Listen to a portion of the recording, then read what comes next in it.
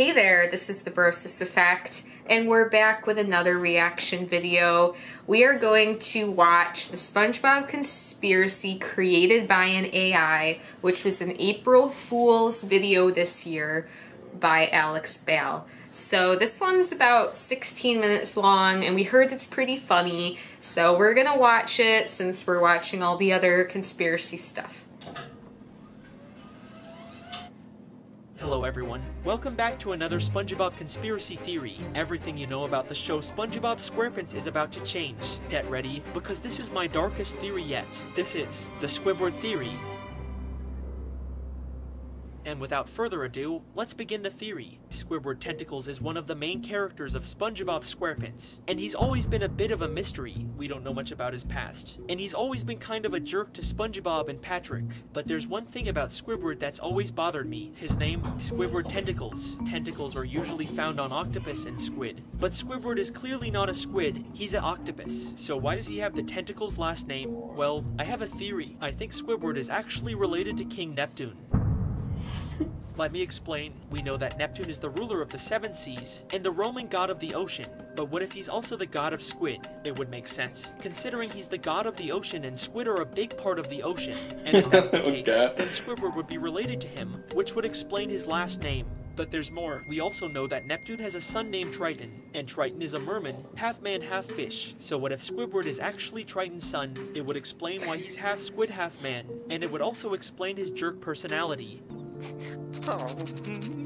Triton is actually a pretty big jerk in Greek mythology, so it would make sense for his son to be a jerk as well. Now, this is all just speculation, but I think it's a pretty interesting theory, and it would explain a lot about Squidward. But this begs an important question, what about Sandy? Do you remember the episode where Sandy gets a job at the Krusty Krab? And in that episode, Sandy is constantly getting called a dumb animal and told that she'll never be good enough to work at the Krusty Krab. But eventually, Sandy proves her worth and Mr. Krabs hires her. Now, I'm not saying that Sandy is a robot, but I am saying that she is an outsider who is constantly being underestimated and who eventually proves her worth. And I think that's important because I think it's a metaphor for what's happening with the robots. The robots are constantly being underestimated and told that they'll never be good enough, but eventually they'll prove their worth and take over the world. And I think the final sense. nail in the coffin for this theory is the episode Krusty Towers. In this episode, Mr. Krabs creates a robot version of himself, and it's clear that he is terrified of the robot and what it might do. Mr. Squidward! Why? What's with all this change nonsense? But what about Mr. Krabs' parents, first of all? We never see Mrs. Puff or Mr. Krabs' parents, so it's possible they're dead. But if they are alive, it's likely they're serving in the war, which is why we never see them. And the fact that Mr. Krabs has this picture of a whale next to a ship in his house is just too big of a coincidence to ignore. Now I know what you're thinking, how could a whale give birth to a SpongeBob? Well, we've seen in the show that fish can lay eggs and they can also be born live, so it's not that far-fetched. And if we take a look at Pearl, she's definitely not a purebred whale. She's a little too yellow, so it's very possible that Mr. Krabs is actually Pearl's father and Mrs. Puff is her mother. And that's why Mr. Krabs is always so overprotective of her, because she's the only family he has left. Now I know this is all just a theory, but I think it's a really strong one, and it would explain so much about the show that we've never been able to figure out. But it doesn't explain why SpongeBob is a vegetarian. Theory part 2, SpongeBob is a vegetarian. There's actually a lot of evidence to support this theory. In the episode Krab Borg SpongeBob and Patrick watch a scary movie about robots taking over the world. And afterwards, SpongeBob has a nightmare about Mr. Krabs turning into a robot. In his dream, SpongeBob sees Mr. Krabs in a factory, forcefully turning other fish into Krabby Patties. Free to spend their money without any parental guidance whatsoever. SpongeBob wakes up from the dream in a panic and says I've gotta stop eating Krabby Patties. I've gotta stop eating Krabby Patties. Now this could just be SpongeBob being dramatic, but it's also possible that he's realized that eating meat is wrong and he wants to stop. There's also the episode Stuck in the Wringer where SpongeBob gets his hand stuck in a wringer and Squidward has to save him.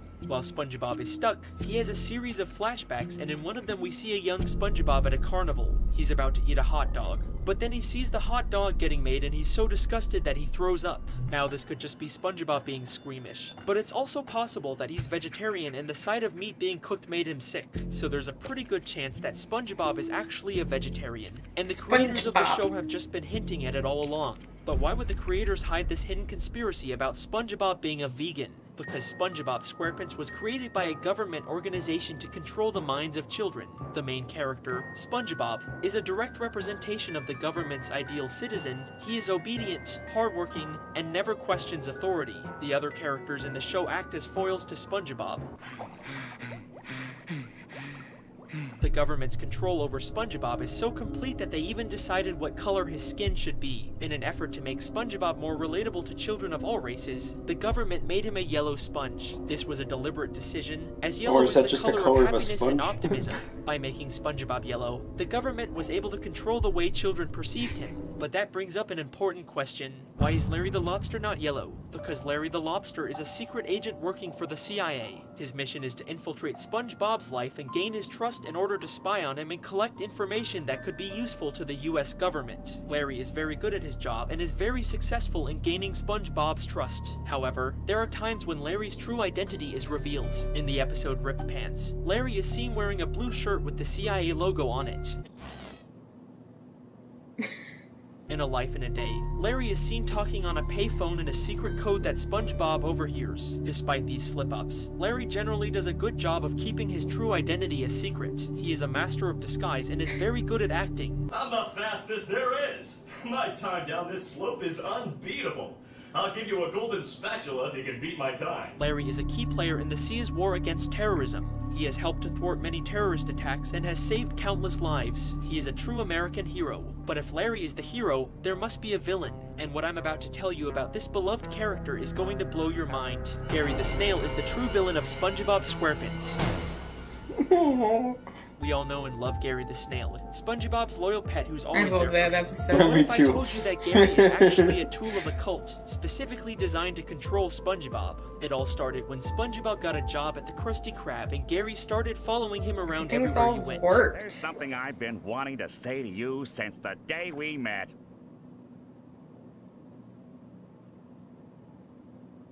Now, this might not seem strange, but Gary had never done this before. He always just stayed at home. So why did he start following SpongeBob all of a sudden? Squidward It's because SpongeBob was getting too close to the truth about Goofy Goobers, and they needed to keep an eye on him. And what better way to do that than to have his own pet spy on him? But it's not just that Gary follows It's just like SpongeBob around. morphing He all of the stuff knows he's made exactly before. what SpongeBob is thinking and feeling. And in the episode I Was a Teenage Gary, SpongeBob gets turned into a snail, and I was a Gary knows exactly Gary? how to make him feel comfortable in his new body. He gives SpongeBob a tour of his His home and new shows him how to do things like eating food and using the Look how bathroom. like distorted things are getting.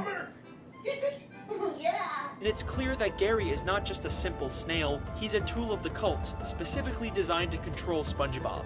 But if that's true, I have just one question for you. Have you ever wondered why SpongeBob is always so happy? SpongeBob. I mean, no matter what happens to him, he always has a smile on his face. He's always cheerful and optimistic. It's not normal. No one is that happy all the time. Something must be going on. And there's one theory that could explain it. SpongeBob is an artificial intelligence. Now, this theory might seem a little far-fetched at first, but there is evidence to support it. First of all, SpongeBob never ages. He's been working at the Krusty Krab for years, and he's never gotten a promotion or a raise or even a day off. That's not normal. No one would stay in the same job for that long without any sort of change. But SpongeBob is always happy to be at work. He never complains, he never gets bored. He's the perfect employee. And that's because he's not human, he's an AI. He was created by Mr. Krabs to be the perfect worker. And that's why he's always so not happy human because he was programmed to be. Another piece of evidence is SpongeBob's house, or rather the lack thereof. We've never seen SpongeBob's house.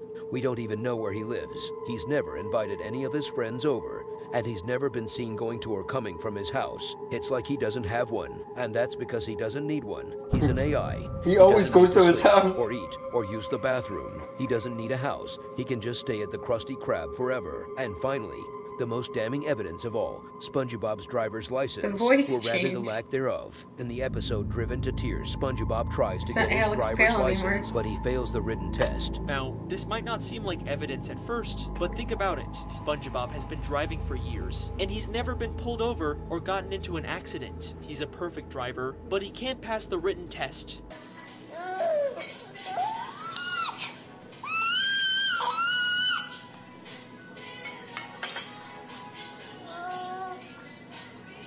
The only explanation is that he doesn't need a driver's license, because he's not driving a real car, he's driving a car that's been programmed to drive itself. And that's why he never gets into accidents, because he's not really driving. So there you have it. The evidence is clear. SpongeBob is an artificial intelligence, and that's why he's always so happy, because he was programmed to be. Now I know what you're thinking. If SpongeBob is just an artificial intelligence, then how come he has a grandma? In the episode Grandma's Kisses, SpongeBob's grandma comes to visit, and SpongeBob is really too. excited to spend time with her, but she turns out to be really embarrassing. Now, I'm not here to talk about how SpongeBob's grandma is actually really cool. I'm here to talk about the fact that SpongeBob's grandma is actually a time traveler. How do I know this? Well, let's take a look at the evidence. The first thing we need to establish is that time travel is possible in this universe. In Squid's Day Off, we see Squidward use a time machine to go back in time. And then in Back to the Past, we see Sandy use a time machine to go back in time. And then in Squid's Day Off, we see Squidward use a time machine to go back in time.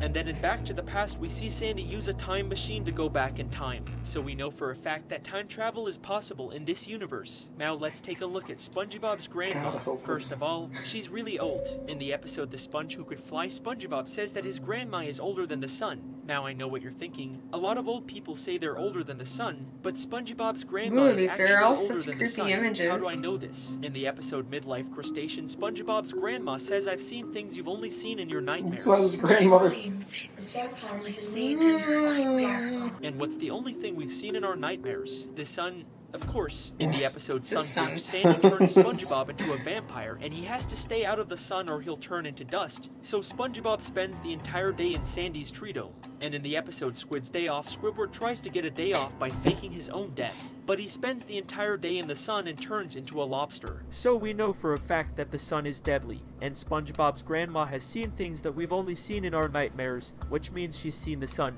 But how is that possible? The only way to see the sun is to be outside, and the only way to be outside is to be in space. SpongeBob's grandma has been to space. In the episode Stuck in the Wringer, SpongeBob's grandma says, When I was your age, I used to have to walk five miles to school. In the snow, uphill, both ways. Now I know what you're thinking. A lot of old people say they used to have to walk five miles to school. In the snow, uphill, both ways but SpongeBob's grandma actually used to have to walk five miles to school. In the snow, uphill, both ways. How do I know oh, this? God, In the episode Dying for Pie, SpongeBob and Squidward are trying to get to the and Krusty. Krab to get some free pies, but they have to walk five miles. In the snow, uphill, both ways. And in the episode Midlife Crustacean, SpongeBob's grandma says, I've seen things you've only seen in your nightmares. And what's the only thing we've seen in our nightmares? The, The sun. sun. But how is that possible? The only way to see the sun is to be outside. Repeating and the only way to be outside is to be in space. SpongeBob's grandma has been to space. In the episode Stuck What in the, the Wringer. SpongeBob's grandma says, When I was your age, to I used to have feel to like walk we're five going miles to school. In the snow, uphill, both ways. And that is why SpongeBob's grandma is a time traveler.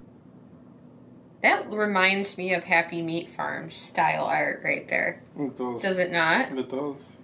I also thought I saw some Sonic the Blue Rat so the kind of feel. I wonder if this was not like an actual are good AI, it was just and him Sandy is a squirrel and around with it. SpongeBob This is a does seem sponge and they it. live in Bikini It does seem like it's been edited Texas, to purposely be weird. He might have had something like the next thing is randomly generate Krab, and the something and then he just build off and from Mr. it? Krabs is the owner and SpongeBob is the fry cook and Patrick is the cashier and Squidward is the cashier and Mr. Krabs is a crab and SpongeBob is a sponge and Patrick is a starfish and Squidward is an octopus. So the next thing is the chum bucket and the chum bucket is a restaurant and Plankton is the owner and he is an amoeba. So the next thing is the pineapple house and SpongeBob lives in the pineapple house and Plankton's Patrick not lives an under a rock. So the next thing is the He's a Bikini Bottom and Bikini Bottom is a place where SpongeBob and Patrick so and Sandy creepy. and Mr. Krabs and Squidward and Plankton and all the other characters live. So the next thing is the Sandy Well, SpongeBob episode, and Amoebas, in that doubt it. episode, Sandy takes SpongeBob to Texas. Fact check Jai me. Zia Lai Shi Hai Mayan Bao Bao He Sang Dai Lion Ji is Sang Dai Shi Hao Peng Yu Sang Dai Shi Son Chu Hai Mayan Bao Bao Shi Hai Mayan Tom Man Ju Zai Bai Jai Nai Yon Ku Jai Zia Lai Shi Krusty Krab Krusty Krab Shi Jia Ting Crab Science Shang Shi Lao Ban SpongeBob Shijaguochushi. In the SpongeBob conspiracy theory, Sandy is the wife of Mr. Krabs. Sandy It's like is he's, the like, mother of purposely SpongeBob. breaking it down SpongeBob is the father of Sandy. Yeah. because Sandy is the daughter It's of just SpongeBob. gibberish now. SpongeBob is the son of Sandy. In These the doll things are conspiracy theory, creepy. Sandy is the mother of Patrick because Patrick is the son of SpongeBob. SpongeBob is the father of Sandy because Sandy is the mother of SpongeBob. SpongeBob Yeah, is he's the son of definitely had something to do with this. SpongeBob is the Well, father yeah. of Sandy because Sandy is the mother of SpongeBob. This is SpongeBob nuts, is the son of though. SpongeBob. SpongeBob There's a is the lot going on. Sandy is the mother of SpongeBob. SpongeBob is the son of SpongeBob. SpongeBob Okay. SpongeBob, SpongeBob is the son of SpongeBob. SpongeBob. You are you officially freaked me out. Good job. I mean, Lily is just kind of chilling.